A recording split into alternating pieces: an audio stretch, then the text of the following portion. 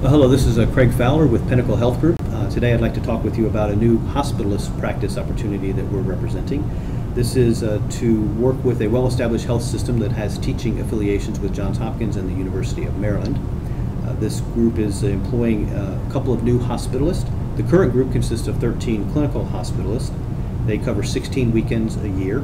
Patient encounters are between 10 to 12 patients per day and 12 to 15 encounters on the weekends average daily census is between 60 and 70 patients uh, for uh, the day. The group currently has two nocturnists that cover the evening. Their schedule is a 7 a.m. to 2 p.m. short call and a 2 p.m. to 7 p.m. long call. Physician is responsible for about three to four long calls a month.